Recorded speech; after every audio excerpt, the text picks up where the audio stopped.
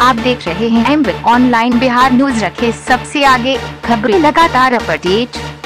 बक्सर ज़िले के सिमरी प्रखंड क्षेत्र के नियाजीपुर में महावीर पूजा समिति पुराना खड़ा के द्वारा पंडित राम लखन पाठक के बगीचे में विशाल दंगल प्रतियोगिता का आयोजन किया गया, जिसमें उत्तर प्रदेश, हरियाणा, पंजाब के दिग्गज पहलवानों की उपस्थिति रही। खास बात यह रही कि इस साल महिला पहलवान भी अपनी उपस्थिति दर्ज कराई। और इन महिला पहलवानों को देखने के लिए लोगों का हुजूम उमड़ा हुआ था। वही अपनी कुश्ती से महिला पहलवानों ने लोगों का मन मोह लिया।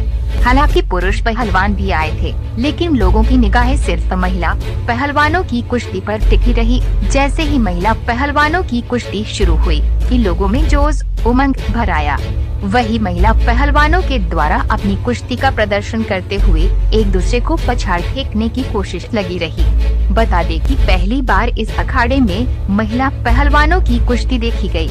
महिला पहलवानों की कुश्ती, गाँव के लोगों के मन में महिलाओं के प्रति एक अच्छी सोच दे डाली सबसे रोचक कुश्ती यूपी और हरियाणा की हुई, जिसमें पहलवान एक दूसरे को पछाड़ फेंकने की चाह रखी रही जैसे ही कुश्ती शुरू हुई कि लोगों के द्वारा जयकारे पे जयकारे लगना शुरू हो गया।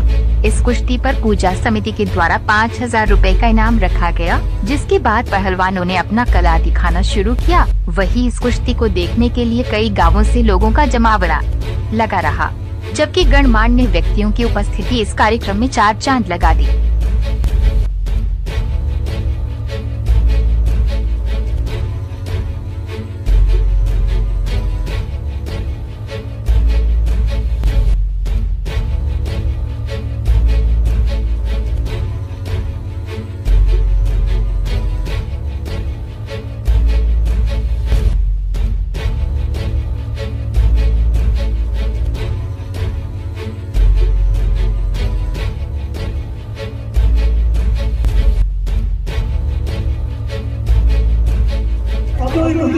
만들어 볼게 여기 와서 그거 안 하는 거야 야